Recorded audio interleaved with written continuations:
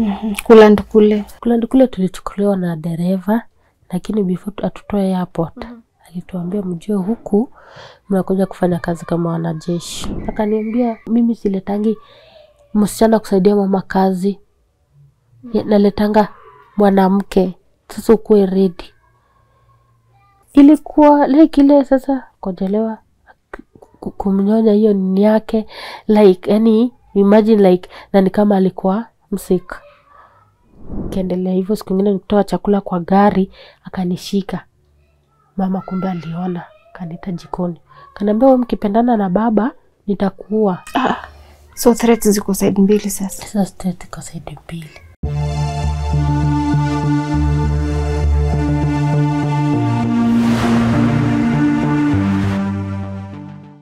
When Celestine left Kenya for Saudi Arabia, her only hope was to fend for her two children. But what happened while she was working in the Gulf country left her so traumatized, she pleaded with God to take her life. Well, thank God he didn't, because today we wouldn't be here listening to her story of hope. Welcome to today's episode of My Story. My name is Yvonne Kawera. Celestine, tuanze na majina yako na kule unatoka.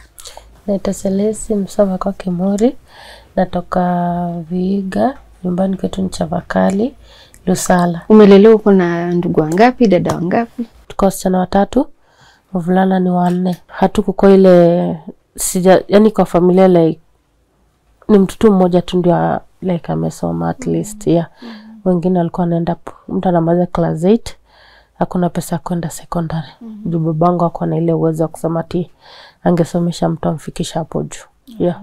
So uliachia wapi masomo? class 7 After hapo ukaenda wapi? kuachia shule class 7 nilikuwa home na juu life ilikuwa hard niliavu kwenda kufanya kazi kakamega Nili, nilialikwa, niliandikwa na hapo kakamega na mkikuu fulani alikuwa analipa elfu tatu Ya, hii elfu tatu ilikuwa at least nyumbani at least wapate kitu ya kutumia ya, Na ilikuwa kazi gani? ya nyumba Oh. yeah. Alafu ukaifanya kwa muda gani? nilikaa huko karibu mwaka mzima nikifanya kazi ya nyumba. Vile niliona like ito hiyo pesa sasa imekuwa kidogo na bado niko na mahitaji nikatoka huko nikaenda nikatafuta kazi ingine ya elfu nne. Bado tukakamega Huko ndio ulikutana na baba hapana. Nilirudi nikakaa nyumbani nikakaa nyumbani sana kama niko tu pale nyumbani na mama. Like ile hiyo time ilikuwa baba aligonjeka. Sasa ilikuwa nirudi nyumbani. Nikae nyumbani kukaakaa nyumbani ile kutoka kwenda kutembea ndio nikapatananga na baba watoto. Na ilikuwa vipi? Walikuwa mtu aina gani ukikutana naye? tukikutana like baba tutangu alikuanga mtu mzuri sana. Akwa mtu wa maneno mob. Like mi niki, vile mi nilikuwa namjua like alikuanga mtu mzuri sana hiyo time. Ya yeah, vile mi nilimjua tulikuwa poa kanipeleka kwa familia yao tukapatana tukajuana Mkaishi pamoja? mm. tuka, nikapata mimba ndio ikabidi ni Uhame. nihame Ehe. yeah. Na ndoa ilikuwa nzuri, kila kitu ilikuwa shwari.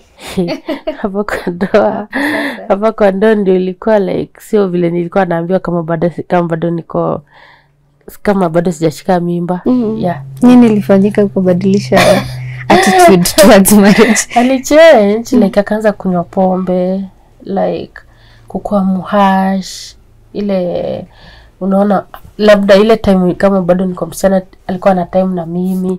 Kini wakati nilipata mimba na nikakuja nika kwanza kuzaa ilikuwa was was tuna fight yeah.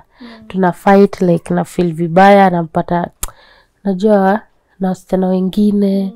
Wale unapata wengine ni sahiyo mi nilikuwa bado nilikuwa mdogo. Na naona kona watu labda iji kubwa like ilikuwa inanikasirisha sana. Mm. kafika point nila, nilikuwa mgonjwa na like akanchapa kama mamangu amekuja kuniona mbele ya mamangu. Mamangu akakasirika aliniambia tu twende tu nyumbani.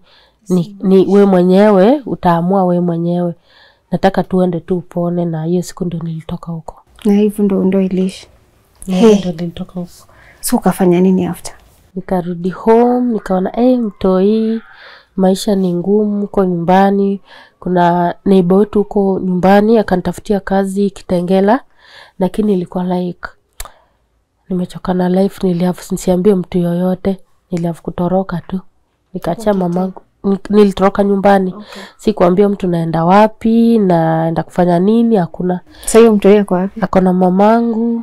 Mamangu like mamangu like ni the best mam yeah napenda mamangu because like hata huwezi jua hata kama niko na mtoi. Yeah. Alisimama tu. alibaki na yeye like hata nikienda nilienda kazi ya nyumba kitengela nilikuwa natuma pesa kama ajui nimfanya mjengo nimefanya kazi ya kiateka. Kiateka nilikuwa nafanya mjengo at the same time mchana. Nirudi jioni nioshe plot ya wenyewe na kuna mwenye ameniekea nguo za kufua bado niende kumfulia alikuwa na trust mi peke yangu because alikuwa anaenda nachakiko masai napata naenda nafanya kazi zake usiku namtengenezea nyumba kesho nikitoka mjengo nakuja namwanulia nguo zake namwekea like sijai achana na watu nimefanyia hapa kazi kenya kwa ubaya Mm. yeah Nini ilifanya udecide kwenda Saudi? hata before decide kwenda saudi hiyo wakati nilikuwa matanga ilikuwa nyumbani. Ilikuwa inabidi niende home. Hiyo time nikifanya hizo kazi zote nilikuwa tuna mtoto mmoja. Ilibidi niende home kurudi home kwenda nikapatana na baba mtoto wangu. Na kwa ile ile harakati ya like long time nini kupatana eh. Hivyo ndio nilienda nika nikaangukiwa si kuangukia Ni- nikarudi nairobi eh, nanona. Ala, unajua at that point. ah, ah, nanona na nakula sana mm -hmm. after three months. Nilipima hospitali kadhaa kama siamini kapatikana niko na mimba. Mm -hmm. hapo ndio sasa maisha yangu like ulifilaji Ulifilaje venye ulidiscover uko na nilifeel kama naweza kula huyo huyo mwenye alindunga huyo shindano ya daktari lakini nilifeel like dunia ni kama inaweza isha because hiyo time sikuwa ready kukua kwa mzazi mwingine na bado huyu bado sija sikutaka like watoto wangu wateseke vile nimeteseka. Mm. na hapo ndo nilienda nikapata mtoto handsome boy. Mnono. Yeah. tukakaa nilikuwa nasaidiwa tu vizuri na church na pasta wangu alikuwa ananisaidia nyumba chakula nini. Nikapona nikaanza tushughuli hapo na pale. Lakini kuna siku ilifika tulikuwa tumekaa kwa nyumba kuna mama alikuja kutu, kutu visit. Akakuja alikuwa rafiki ya mama akamwambia kuna kazi mahali na nimesikia ni ya dubai. Tukaenda tukamiti huyo rafiki yangu huyo rafiki yangu huyo mama akatupeleka kwa huyo rafiki yangu wakatuelezea nini inatakikana. Tukarudi kwa nyumba ndio tukaambiwa tunahitajika 30000 like kutengeneza passport mm. medical hizo vitu zote like tulikuwa na 30000 nikapigia sister yangu mkubwa nikamwambia nikope pesa kwa chama. Kanikopea loan ya 30000 nianze process. Mm. kufika ilifika asubuhi na huyo mama na rafiki yangu tukaenda town. Tukapanda gari moja tukaenda town tukaenda tukamiti huyo mama. Yaani huyo mama like alitupeleka mahali akatupanga akatuambia tumtumie hizo do. Hadi huyo rafiki yangu naye alikuwa ame ame nini tu pesa twake mahali ameuza vitu zake na yeye friji yake. Tukampea tukajua tunaenda dubai. Like maji alitoroka na hiyo pesa. Tu ni mtu jeona mpaka leo. hatukumwona hakushika simu zetu tulimtafuta town.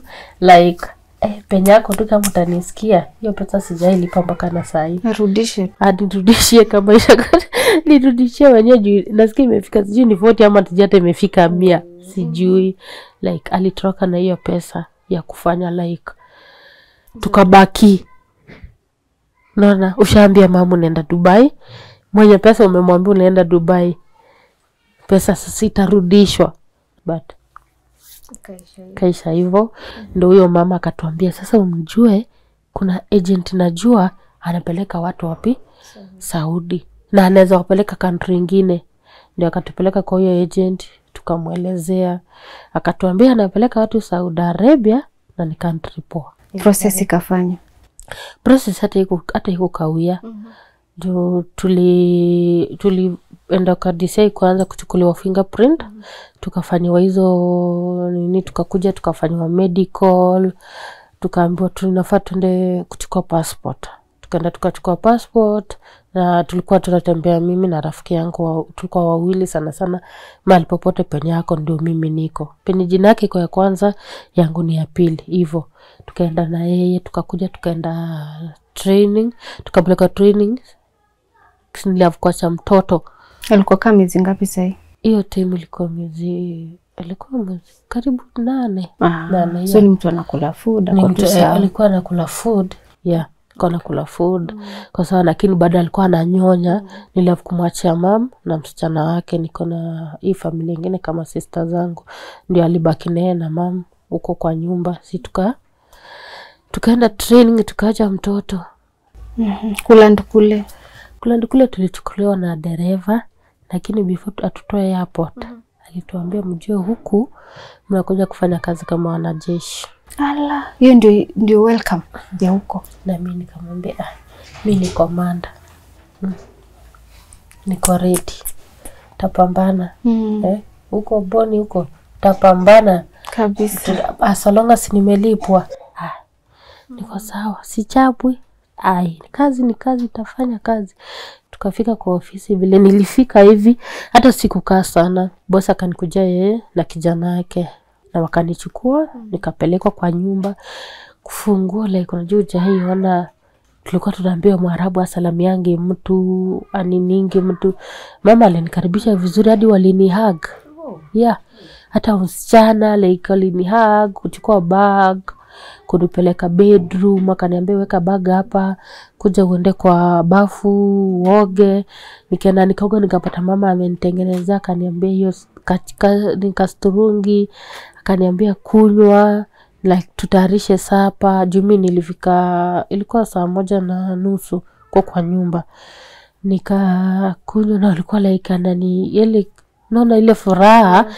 We immediately wifi nikienda kukula nikienda kwa room ah, mi nayo tumshana haraka haraka uwe mi nimeangukia.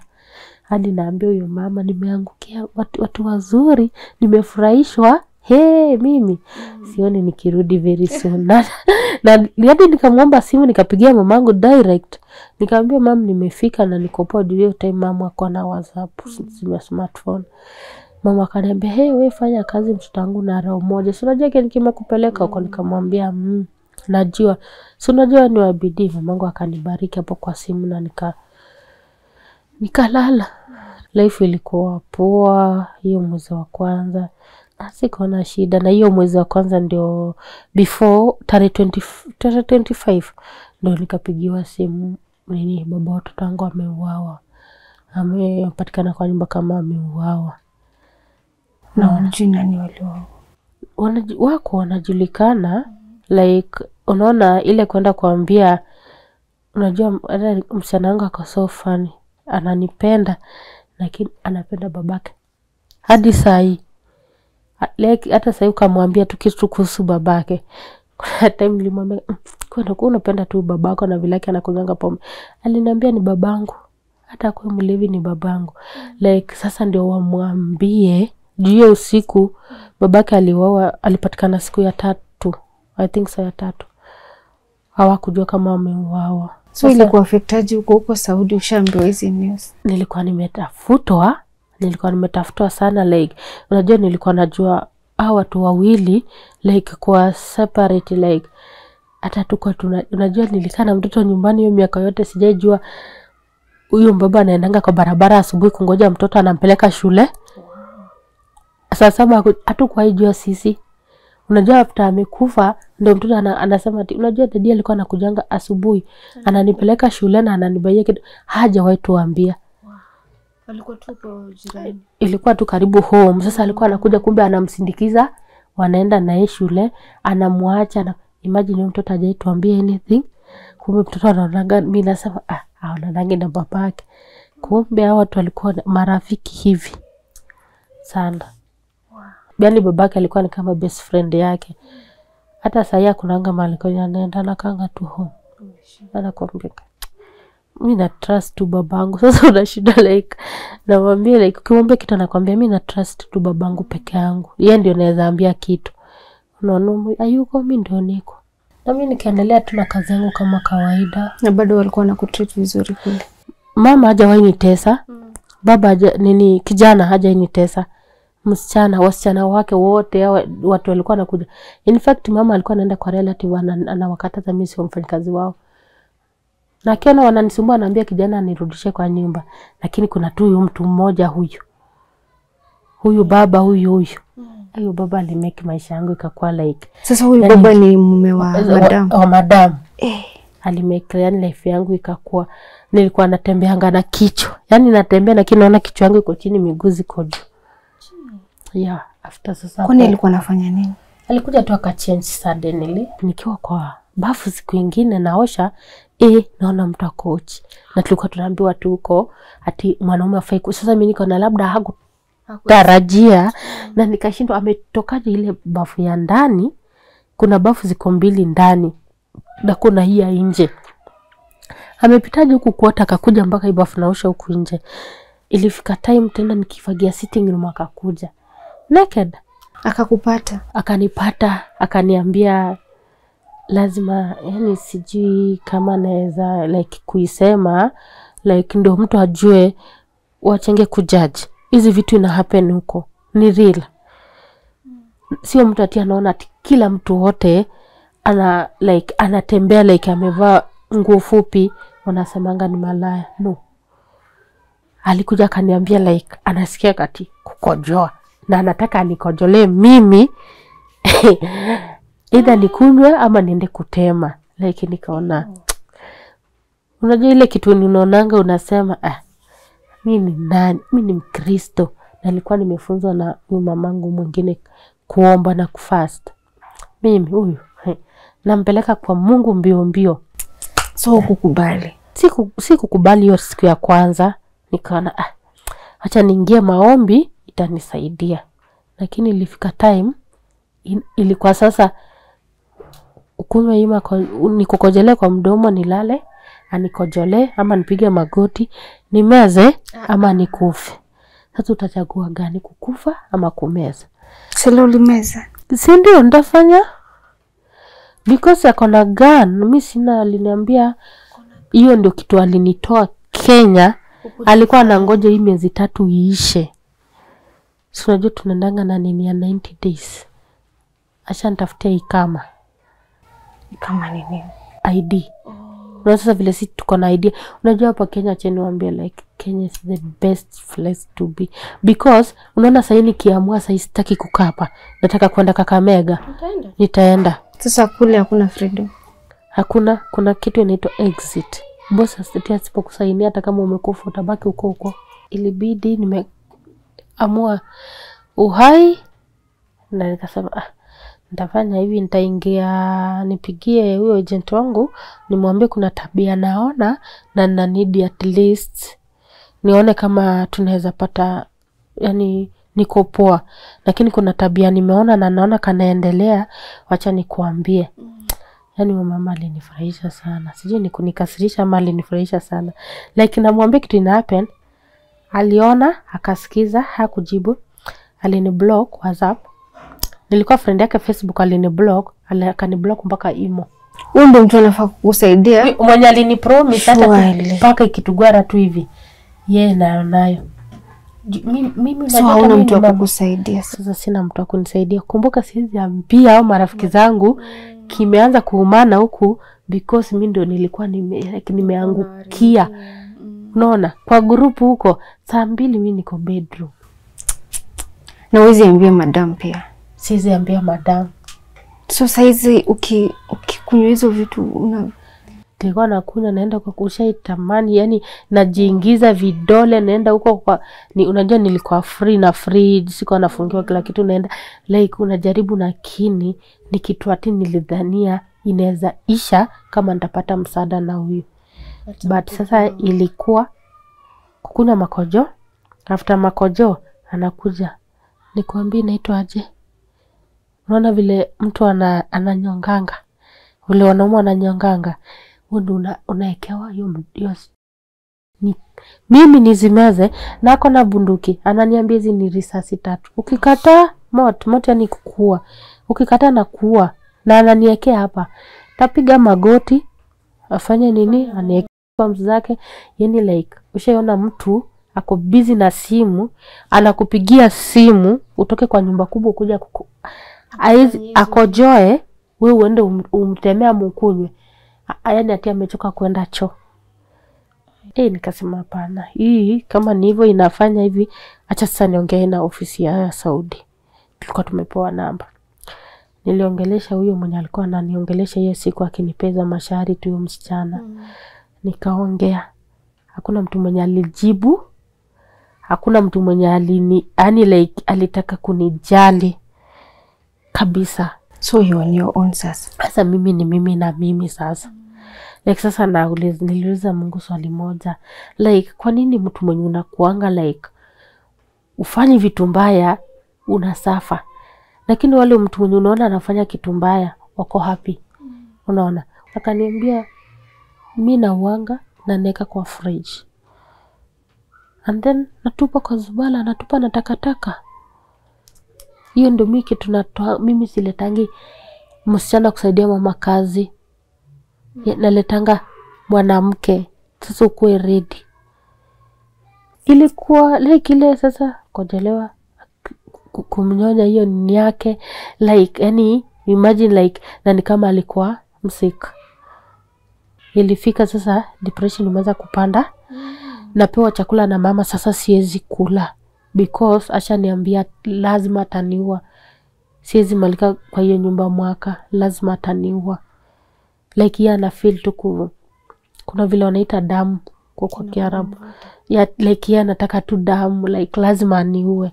Like nilimwambia niko na watoto wadogo. Wana mimi baba yao alikufa. Sasa if kama utaniua like nitafanya like nilitamani mtu wa kuambia lakini hakuna. Sitrust sasa mtu like kumwambia ati hivi. Iliendelea hivyo ikaendelea hivyo. Siku ingine nikutoa chakula kwa gari akanishika. Mama kumbe aliona kanita jikoni. Kanaambia we mkipendana na baba nitakuua so threats ziko side mbili sasa. Sasa state ziko side mbili. Si ati si mimi chakula. Ushapewa chakula lakini unatupa kwa takataka. Mimi sikuwa nimekataa kazi. Hata mungu anajua nilikuwa ready kufanya kazi. But yani hakuna ofisi hakuna mtu wa kuambia. Ilifika sasa siku ingine hapo naenda ku nini sasa alikuwa nataka kujaribu sasa hiyo kunirep sasa.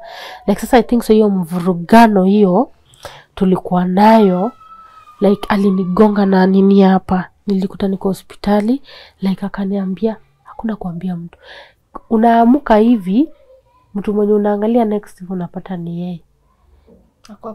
Akopo anangoja ananiambia kuna kusema. Kusema na kuua. Mama akakuja kaniza ni nini? Nikamwambia nilikuwa nimepanda ngazi nikiosha kujua akaniambia pana usipande tena. Cha nitaita vijana wakuja kufanya nini waoshe lakini sasa ilifika sasa time ikakuwa worse like kama yani naweza toa hizi nguo zangu mniangalie hivi like huwezi believe. Hata nikikuonesha picha zenye nilitoka hapa kenya like vile nilikuwa nakaa like huwezi amini.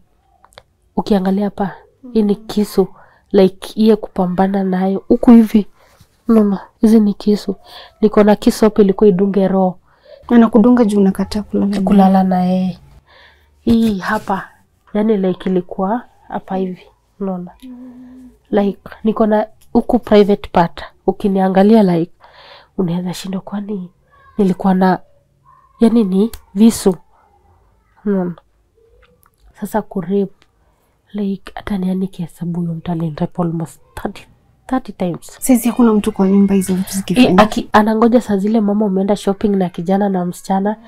Na hata kuna time mwingine alikuwa unajua sasa hawa nao sijui wanalalanga. Unajua sasa ile usiku vile wanakuanga online. Yeye anabaki hapo like yeye anaenda kulala. Ndio asubuhi hawa wakilala ndio akuja sasa tupambane na yeye huku. Unaona? Kwingine sasa nataka kunirep hasa ile kufunga like kutoroka unajua alirusha panga ile ikanikatapa magoti. Naona niko na alama hapa kwa magoti hivi. Naona ikanikata magoti. Hasa like una leak una have kudanganya ule mama. Juujuu mtu amesha kurepa unaona? Huku chini kenda koja nasikia uchungu because sometimes alikuwa ananigwara like ananifanya hivi. Unaona? Like unaona ile mtu ako na makucha unaelewa like unasikia kichwa ilikuja kulipuka wakati sikuwa na periods zangu. Hapo ndio masaibu yangu ilianzia. Ulikuwa bado tu kwa hiyo nyumba? Niko kwa hiyo nyumba. Like the worst kitu yenye sasa ilinipea hiyo stress niyo kukua like period hazijakuja. Kumbuka ni- yani akili inapigia niko na watoto wengine nyumbani na huku sheria yako, ukipatikana uko na mimba na ni abusu wako. We ni wanasema wewe ni haramu nafaa uwawa na huyo mama juu hata kubali mm. like nilijichukia nilitamani mtu wa kuambia hakuna. Unachapwa. Yani like kitu nilinuma like sasa anaona hii mbele ya kutoshi sasa nataka kwanza kulitumia na nyuma yani like nakaanga hivi chini nasema sometimes mtu nafatua tu hata unajua jua huna maana. Unaona? Because azile zile agent amenipeleka huko like ni nini yake aidi yake aliniaidi like atanichunga. Kumbuka niko na mimba. Huu mtoto natoka aje huko? Sahii hakuna pesa hakuna mshahara. Una sign pesa anachukua anajifanya anaenda kutuma atumi mama ananipigia nyumbani watoto wako njaa. Namuuliza like siwezi mwambia.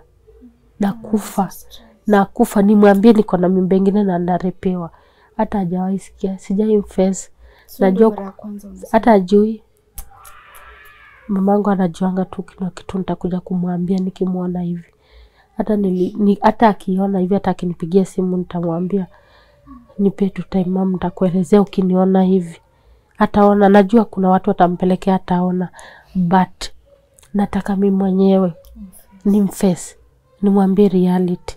Yani ilienda kwa polisi polisi like nikapelekwa kwa ofisi. Ushaichapwa. Na nani? Kwa ofisi. Mbona unakuchapa tu? Mwenye huyo mwenye ofisi alikuwa ananiambia ati ulikuja kwa kufanya kazi. Namwambia vitu zenye zinapen nilichapwa nilifaint nikachapwa nikaamka nikajikuta niko uhai na bado natandikwa.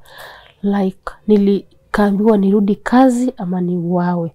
But niliavu kukaa chini nikauliza mungu like kwa nini kama unajua? Ulinitoa huko. Ulijua naenda kuteseka. Nunajua unajua nataka hii kazi bado niliavu kurudi kwa hiyo bosi alinikujia. Na bosi mwenyewe anataka kuniua mbele ya ofisi na wajali ananiambia kama hataki muue.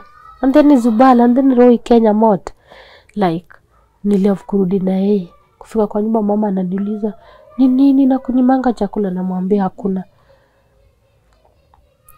Kitu fani nilipewa namba ya embassy.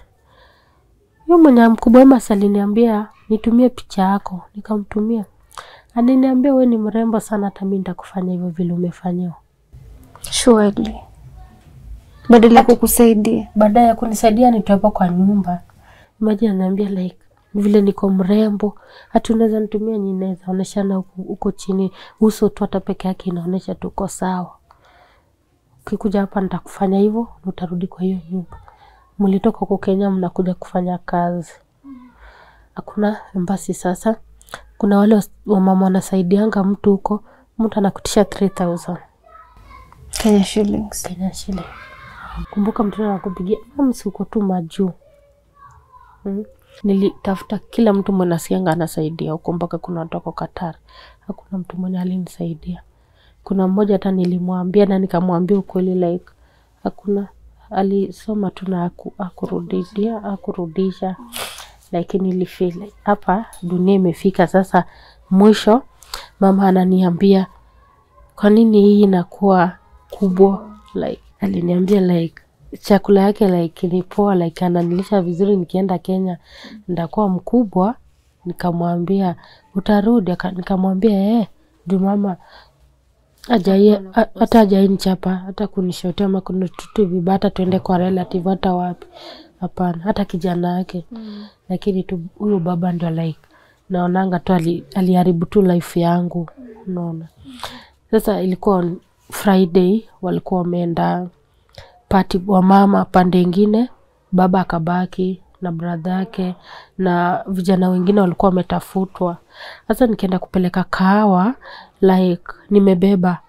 Hiyo mlango unajua iko imerudishwa vizuri. Sasa niki, nikitoka kwenda kupeleka hiyo nini nikasikia like vile wana plan? Yaani plan ni kwenda ni, ni wawe, nikasema hapana lazima nifanye kitu. Niliachilia ile nini nikafunga mlango na nje hiyo mlango lazima mtu mwenye ako nje ndio akufungulie na ile kioni ile sijui inaitwanga jigolira sijui nini. Ukipasua la, like unajua ina taking sio rahisi mtu kuipasua. Nishawafungia nje ni mimi mbio mbio kwenda kuzima nini? Stima. Nipande ukuta. Nitoroke juu hakuna kia gate. Hakuna like huko kwangu walikuwa ni password. Uwezi toka. Niliruka tena ukuta. Neiba aliniona. Akaniambia u baba kwangi mzuri kuja ujifiche hapa. Huyo neiba ndi aliniitia polisi wakanikujia. Nikapelekwa kwa polisi nikaambiwa nataka jamii nataka kwenda embassy.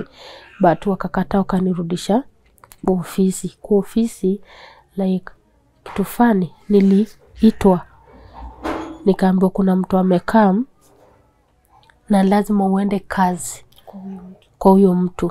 Lakini nikawambia siwezienda mi ni mgonjwa.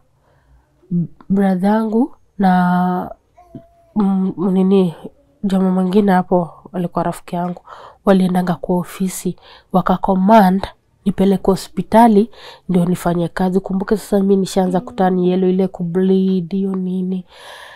Nikapelekwa hospitali kupelekwa hospitali nikaenda nikapimwa na huyo daktari mnigeria akaniambia ujua uko na mimba lakini siandiki hapa. Hiyo ofisi itakurudisha hapo utatolewa mimba na huko wanatoanga vibao unaweza kufa ama nini. Sasa wejua tu vile utafanya urudi kenya akaandika tu hapo hizo vile nilikuwa nimeumia kuonesha nimerepiwa kale tulikuja na hiyo nini silikuwa amesema walete waone kama ni ukweli. Walileta huyo mwenye ofisi aliradu hiyo karatasi akaniambia lazima shughuli. Kurepiwa tu. Hapo kwa ofisi nikaleta hiyo nini ikaraluliwa nika so hakuna evidence hakuna evidence sasa. Wakatuma mama bibi ya huyo sasa brother ya bosi wangu akuje kunichukua.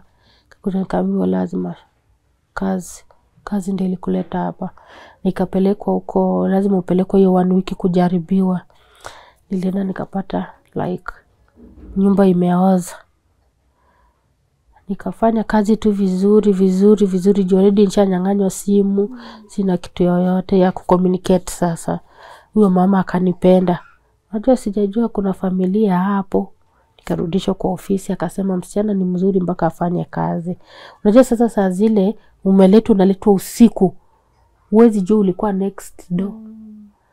Kuingia like unaona sasa vile nilikuwa natoka unaona hii kukimbizana yani waangalia hata wezi jua nani anaishi kwa hiyo nyumba.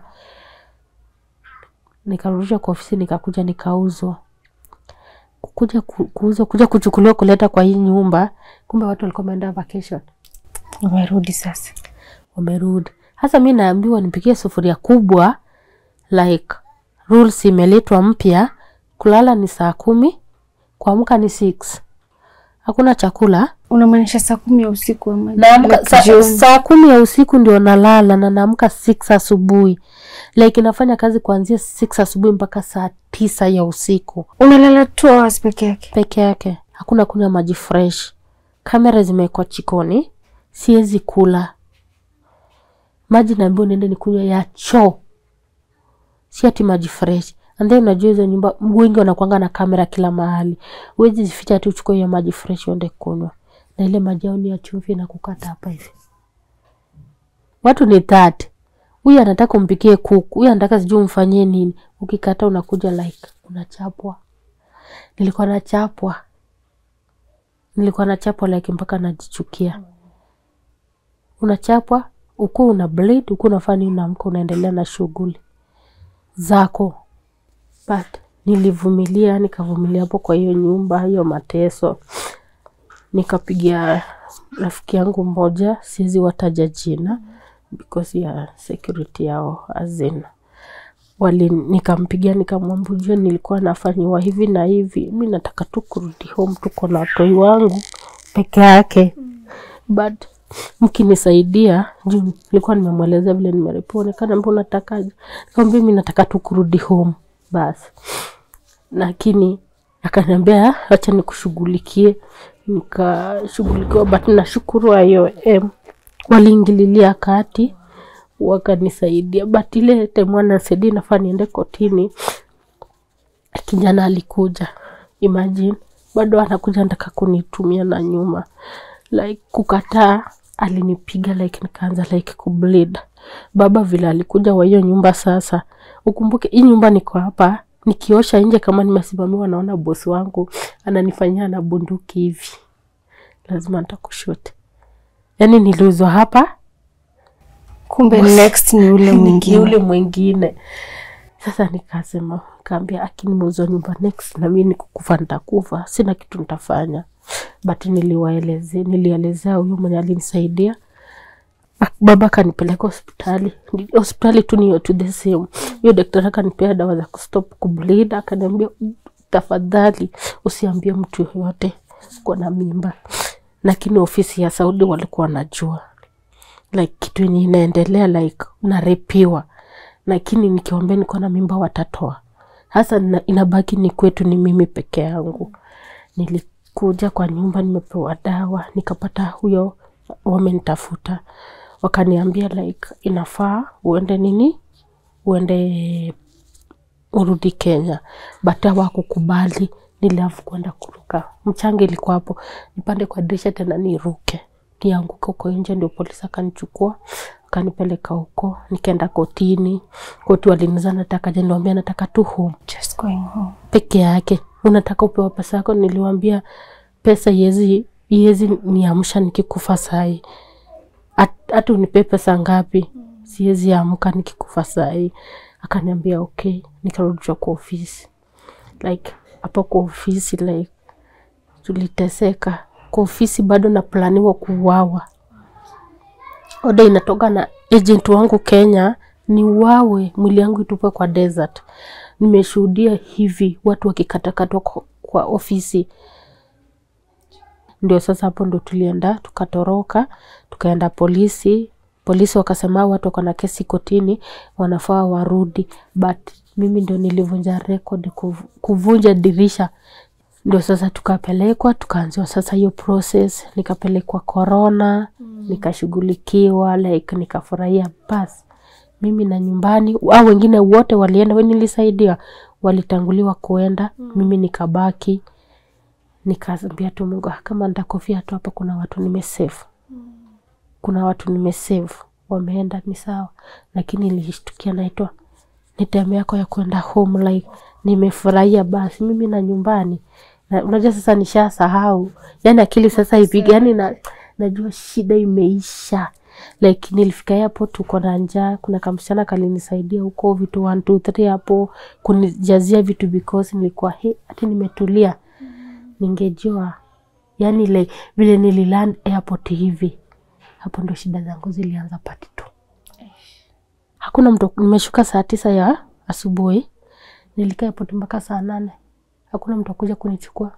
Hapa tu tekee hapa. Hakuna mtu. Kila mtu napigia simu hachukui. Sina fea mwenye nafaa nisaidia nimemwacha. mimi ndio hiyo niko na mimba. Ukumbuke nimechoka yani kichwa haifanyi. Hawajui ulikuwa unakuja. Tulikuwa ulikuwa anakuja kuna mwenye niliambia mpaka kanini unajua mtu akiniona like ati vile ilikuwa nimepiga picha ya airport unajua mimi mimba zangu jificha huku. Naona mimba zangu jificha huku hivi. Like hata ile picha nimepiga yani like eh? yani watu waone ni kwa airport nimepost yani ilikuwa eh, hiyo picha hata nilijaribu kuipiga. Like ndio nikapost like I'm coming back watu walikuwa yani like wanafurahia na kuja. But walikuwa wanafurahia nikiwa huko. Vile nilifika hakuna mtu alichukua simu yangu. Hakuna. Kuna askari mmoja ndi akaniuliza eh, umekaa hapa? Juu nilifaint. Wakanisongesha hapo like wakaniuliza nini ndo wakapigia msichana mwingine akanikuja ye na bwanake. Nikaenda kwa nyumba nikakaa kwa wiki kikaumana ikabidi nitoke. Kaenda kaa kwa street najua already walikuwa shaambiwa mi ni malaya huko na agent. Walichukulia like mi ni malaya. Kwa sababu umekuja na mimba. Eh, na sasa ulifanyaje about All this. mimba. Juu hata wanisaidia wana maana kwa maisha yangu. Nilikuwa nimefaint mahali. Kuna rafiki yangu alikuwa anapita rafiki wa mwana, mwanaume walikuwa wanafanyanga huko pindikuwa tunaishi like walikuwa tu rafiki like ule marafiki tu vile mtu anasemanga niko na best friend hivo. Yeye ndiye alikuja akaangalia akapata niko nini akanipeleka hospitali ingine hapo. Nikaenda nikashughulikiwa nikapimwa nikafanywa hiyo scan nini. Mimba ikaonekana liva inafura niko na only sa nimebakisha miezi ngapi? Mbili.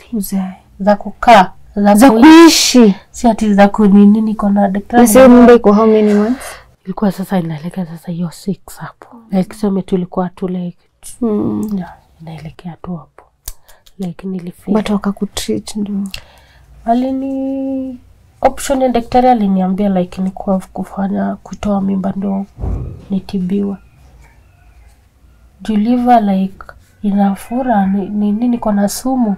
Hakuna venye nitakaa na mtoto na mimi mwenyewe niko na miezi mbili kukufa. Mimba iliavu kutolewa. Kusave life yangu. Juu hata ningekuwa nimelea mimba singefikisha hata hiyo miezi hiyo tisa. Ningekufa. Ilikuwa choice ya daktari. So sahii ilikuwa when did this happen nilikuja mwezi wa pili ya hiyo 2021 nikaenda hospitali hiyo tarehe 13 ndio sasa daktari nikafanywa testi zote nini kupimwa kila mahali nini. Daktari akaniambia tu ukitaka tu kutibu hili liver ni lazima mimba itolewa so after umetoka hosi ulienda kuishi wapi? Nilienda kuishi na huyo rafiki yangu mwanaume yeah. and then kitu nilikuwa msika nilikuwa nimewekwa huku like sometimes pesa ilikuwa inakosekana inabidi niende hospitali kwenda na kurudi. Kitu fani nilikosa. Ye ndi alikuwa ananiosha. Because kuna nilifika sometimes nilikuwa na depression hata siwezi oga. Yani si yani like hata sitaki hata kitu. Like hiyo kuna mali kuna nipeiningi kwenye iniali nilikuwa na rafiki wasichana wangekuja kuniosha but nilioshwa na rafiki yangu mwanaume. Yeah. na nashukurungu sana because hadi ninge hata labda ingekuwa ni ndugu yangu angeniogesha niliteseka nikajijaribu kujinyonga nikapelekwa hospitali na kuna mtu alijitokeza ukanipeleka hospitali nikafanywa at least hiyo counseling nikaelezea hasa ule but cha nikuambia even hata my mama akiona hii story like atashtuka because namwambianga kila siku mama nitakuambia kitu kila time hajui yeah. na saizi vile umeshare hii story Mm. of course unahitaji kusaidiwa okay. so kuna mtu anaweza kuwa akiangalia hii story na anataka kusimama na wewe unaweza sema ni nini unaweza taka ibadilishwe kwa maisha yako ili as much as uko sawa saizi bado unataka you know, to stand up for your children okay. na uwalee vizuri so unaweza taka kusaidiwaje kitu ya kwanza watoto wangu waendi shule kwanzia last year mm. mpaka na sahii na ni wawili? Na ni wawili. Okay. like huyu msichana inafaa ende junior school. Hakuna pesa. Naweza taka mtu wa kunipelekea watoto shule. Okay. like watoto waingie shule. Na mimi mwenyewe like kujisimamisha kama liva sio kitu like kama saa hii Mm. nasikia ni kama imefura. Nilienda hospitali Mamalusi, nikaambiwa niende nifanya scan but sikuwa na pesa ya kufanya hiyo mm. scan. Unaitisha how much? Sikutaka kuunini sana because mm. kulingana na ile unapata mtu anakushautia unabaki umenona na una pesa. Nimenona juu nilidunga dawa za depression za kulala za kumeza ndo lakini nimefura juu ya stress. But nikikuwa sawa nitareduce matibabu. Watoto wangu nataka tu watoto waende shule yake juu hata mtoto mkubwa alijaribu kujua na uwe mdodo, mdogo wake. Ilikuwa mwezi wa tatu. Like nikamwambia tu akisifanya hivyo mi nawapenda sana. Ningekuwa naye ningewapea ya ningewapea. Sahii wako wapi watoto wote? wako na mamangu. Okay. na naweza taka like kama mtu fulani anaweza nisaidia kuwaleta huku nikae nao nitakuwa tu sawa. Mm. afadhali tukae hapo na kitu ya kunisimamia. Kama job. eh, ya kama job. Sibagui kazi. Ya kazi yoyote. Nitafanya. But sio kazi ya nyumba na hate kazi ya nyumba. Hiyo yote. Si siwezi trust kwenda kuishi kwa mtu tena. Mm. na kitu ingine ya inaweza sema mm -hmm. like huyo agent wangu hata kama ulinipitisha hiyo mateso yote akumbuke mi nilikuwa mama ya mtu na nilikuwa na watu wa kuniangalia. Sio sio vizuri kukatishia mtu maisha na alikuwa na hiyo uwezo wa kunisaidia na hiyo ofisi. Like nimewasamea. Sijai msamea like nilikuwa nafikiria like vibaya but nasikianga tu nimsamee like niendelee na life yangu hata kama hiyo yote nimepitia Na sahii unaishi wapi? naishi makadara hapo jogoro Unaishi kwa nyumba yako ama? yeah. yeah. Mhm. naishi kwa nyumba yangu ndio nimesahau kitu landlord ananisumbua sana sana hata juzi alikuwa amenitupa nje na nikaenda nikasaidiwa kuna nilienda kwa ofisi fulani hapo niko kama lipia hiyo rent like hapo kwenye nakaa sikuangi siku, siko save Mm. unaona eh, like huyo mama ananitreating vibaya sana sana kuna na deni yao? nilikuwa na deni lakini huyo aliklia Okay. aliklia So una, ungependa utokea hapo ukae mahali pengi? Hata sahii nikapata mahali pa kuenda Mm. like ya, mi ni mtu hujifungia hata leo sikuwa nitoke nje yeah, yeah, leo hata sikuwa nilikuwa nasikia stress yangu imepanda juu nataka tu nijifungie tu Mm. yeah, Pole sana. yeah. Na mtu mwenye anataka kuku contact atakupata through namba gani? mtu mwenye anaweza taka kunipigia namba yangu ni 07 02 22 58 27 ukitaka like kunipigia kunitafuta whatsapp utanipata yeah, Na jina yenye itatokelezea. jina yangu itatokelezea itatokelezea tu Celestine msavaa kwa Kimoli. Celestine, kwanza pole sana kwa ile ambayo umepitia. Najua hata sio rahisi kukumbuka hizo shida zote umepitia Ndiyo. na all those challenges zenye zimefanya mpaka ukatamani heri ufe, but tunashukuru Mungu kwamba amesimama na wewe na amekusaidia mpaka kwa kuja hapa Kenya. Ndiyo. So usigive up. Kumbuka kuna watoto wawili and this is not the end. So tunashukuru that umetu trust na story yako. Najua ilikuwa ngumu hii journey tumetembea, hata wewe unajua mara una give up, mara unaniambia sitaki kushare, naogopa, but nashukuru umekubali ku open up na kutu trust na historia yako. Tunaku appreciate sana na tunajua maisha yako itabadilika. You know, tuko family how we do. This is Celestine here. She's shared, she's poured her heart out to us and she's pleading with us to support her, to stand with her. She has two children who are entirely depending on her and she needs to live for these two children. So please reach out to her. Her number will be pinned on the pinned comment. Call her, support her, send her messages to encourage her, love on her.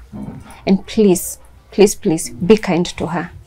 Well, thank you so much for staying with us till the end of the show. My name is Yvonne Kawera. Until next time, 깊이 두고.